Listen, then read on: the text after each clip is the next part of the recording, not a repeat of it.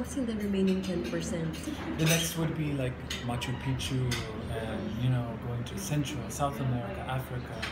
I mean, even like Iceland sounds really good. Yes. I think to a lot of Filipinos, somewhere like Iceland is very exotic.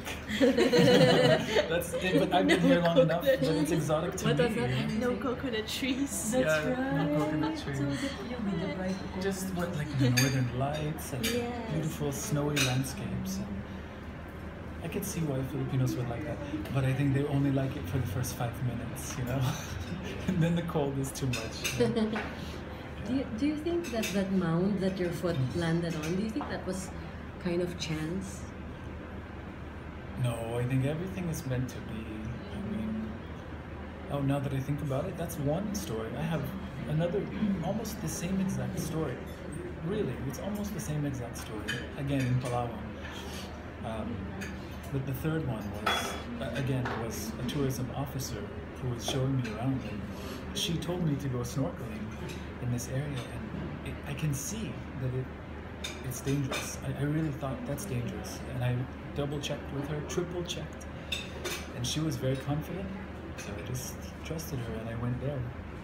And the waves are just throwing you right over the sharp reefs. And it was and you can't see anything. There's nothing to see. It was just dangerous. It was really scary.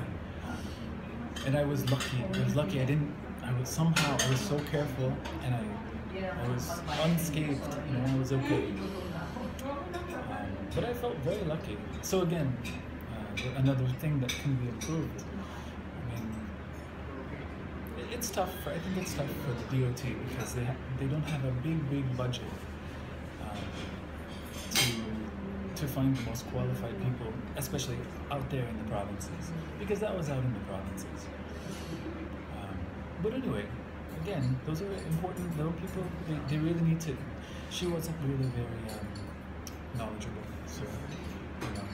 But again, maybe they they have a hard time finding the knowledgeable people out there. Um, but if it comes down to putting tourists' lives in danger, even, I mean, of course, local tourists included, any tourists, any life, it's not, um, it's not good. So, But even when you fell into that hole, it seems like it would have been impossible to come out. yeah, In the that's what she dark. was saying. It's, uh, it was. uh, Yeah, I've been very lucky. Lots think- of you times. think I have a lot of stories. I, I, I put myself in some pretty. you have a guardian angel. Yeah, people have said that about me for a long time. I have a guardian Yeah, angel. because the things that he goes through are crazy. Yeah. He's always saved by an angel or something. Always Yeah. plucked from harm's way. I put myself in harm's way, but then I'm always escaping from harm's way. Yeah, because you know I'm the one who's putting myself out there. I'm taking a certain amount of risk, I guess. The It's so worth it. lives. It's too much fun. Hmm.